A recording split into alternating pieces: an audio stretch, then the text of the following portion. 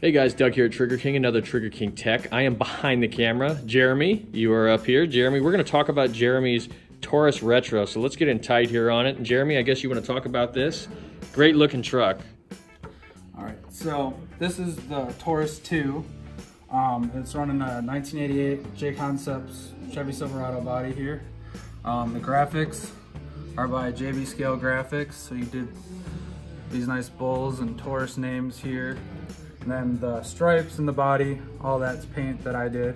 And what was the uh, the paint that you used for this? I know we talked about it in a previous tech, but yeah, it's uh, the red is actually three colors. It's Tamiya PS37. It's backed by PS48.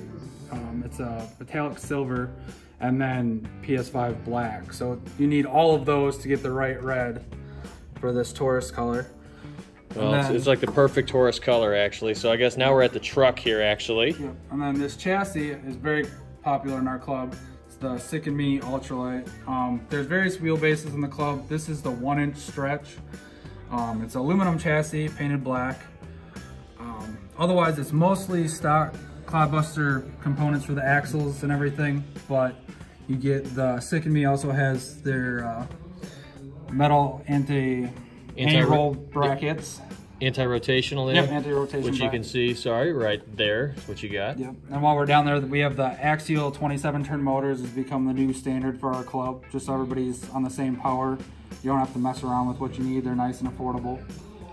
Then when we come over to the front, the steering on these, the stock Clodbuster steering is not very effective. You get the bump steer and everything. So a lot of guys, different companies sell them. These are Crawford Performance. Um, the vertical steering mounts and links right here. You can also get those from uh, the RH Designs or Sutton Motorsports and a few others have them, good ones too. This blower here, which one is this? Is this off like a muscle machine or something? That's actually part of the stock Clodbuster, th- this part, and then this blower Oh, I yeah. assume from like the 80s version. They include that and the newer one with the more square. You're right, you're right. It's been a while since I've seen a, Yeah. a clod blower actually like that, the old style.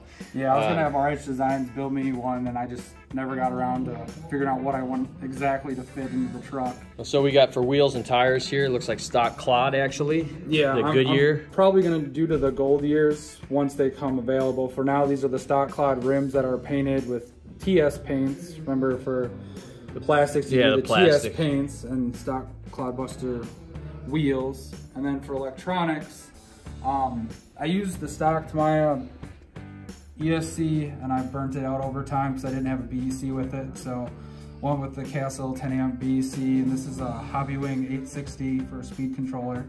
And then we have 100C batteries, uh, our limit for this class. All right, Jeremy, well, thank you for showing off Taurus. And we will uh, talk to you soon actually with another truck of yours.